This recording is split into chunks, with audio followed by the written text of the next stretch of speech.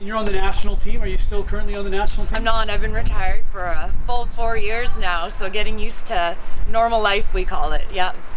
Uh, so you met John uh, while you're on the skeleton You bet. team, Yes. national skeleton team, and um, uh, do you call it speed It was all dating? downhill from there. It's all downhill from there. and do you call that speed dating when you're speeding a fellow skeleton uh, totally. athlete? Totally. Yes. Yeah. and so uh, you and John, John just mentioned uh, that uh, you just moved to uh, Victoria. And uh, so, how are you enjoying your new days? We're absolutely loving it here. It's um, we have to pinch ourselves every morning when we wake up. It's unbelievable. It's the Hawaii of Canada, we call it. So, and our visitors know it too. Oh, good. So you've had a lot of relatives. a lot of company, which is great. Yep.